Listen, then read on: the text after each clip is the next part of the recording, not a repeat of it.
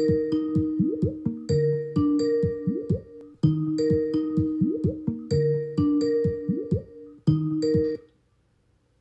morning, Melissa. Morning, how are you? I'm very good, thank you. Are you still on Amazon and the Spy and the Q's? I am. I still have my Amazon, and I have one spy and one of the Q's. That's good enough. It's better than nothing. It certainly is. but can you imagine if you had held everything? It would be really good. But I mean, I you know, honestly, this is good practice for you because you're trying to build yourself up here. So, but I mean, like, there's certain trades. Again, not every gap is created equal. So there's certain trades you can hold, certain trades you can't hold. But I mean, you know, again, it's you can't hold every trade. But I mean, it was very clear to me that this was going to happen. So, you know, yes, but that's the, that's the mentality that I have been used to. Is just holding, isn't it? No, but that doesn't Oh. work for every trade. It doesn't work for every trade, and you still have to watch what's happening. Like, if there was anything that was bad happening, I might have said differently, but it wasn't. So it's like you, I mean, you have to still watch every trade. The problem is you've gone off the rails as far as how you read charts. You're not focusing on the stuff I taught you alone. You're, you're allowing these other little teeny weeny things to get in your head a little bit and then it kind of has created a problem for you exiting trades or getting out too early or getting out when you're down and then they go but I, you know you did a good job with this. You're going to be up. I would let this run today and then get out. That's what that's my plan of action for you. I, i'd let everything run today and get out of everything positive today. Because i mean even if this continues this week which it could i think this is a great exit today. It's wednesday. You know what i mean? Yes. Are you looking at exiting first thing or? no this isn't look at going back Yes, to the basics. Rate the gap. Get as soon as you hang up with me you got an hour and a half to the open. Rate these gaps rate them the, this gap in the market today you could go long as a day trade i'm telling you right now. Well, I mean, I don't have to rate it. I mean, you can see it's you do have to rate it. You should rate it. That helps you. E- even even though you've done it a thousand times you still should do it every day. I still do it every day philip.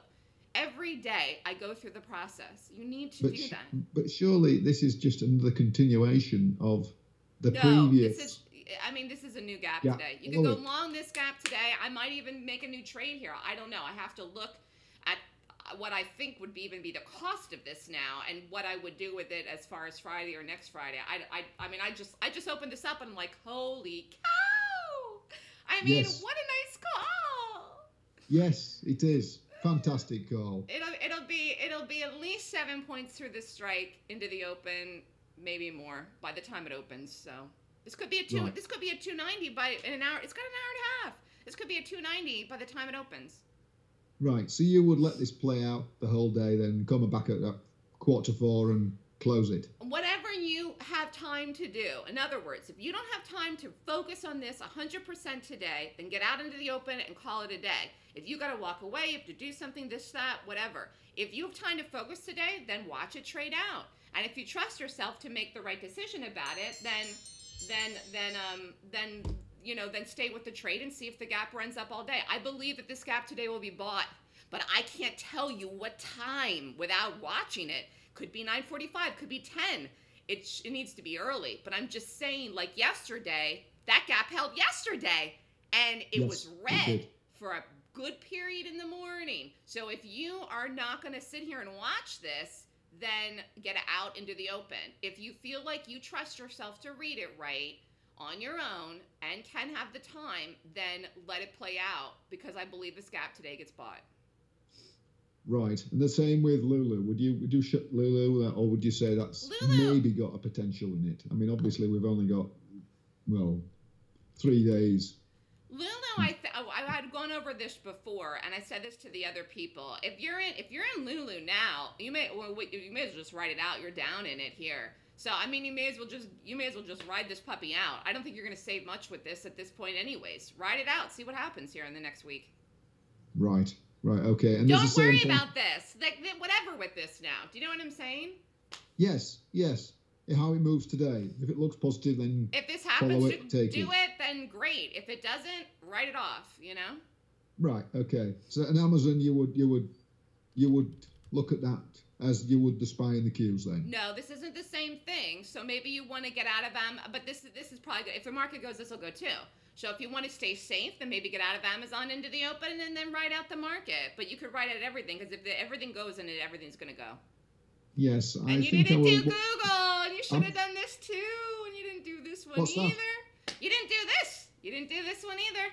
You would have been up another couple hundred dollars just in this. At Yes, yes, but at the same time, you have to be careful, haven't you?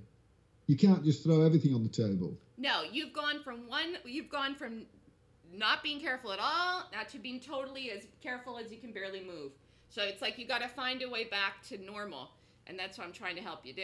You know, it just find a way back to the midway point. But you really should be doing uh, all the trades that I call, huh? My risky self, you mean?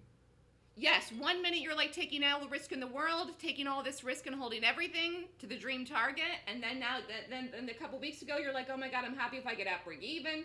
Yes. now, now you're like, Yes, now but you know what the problem is? The problem is when you have several that are obviously working for you, and when you have several that don't, you you it reflects in the way you look When was the last trade. time that I even called three trades in a row that all were losers? Not at all this year, I can tell you that for sure.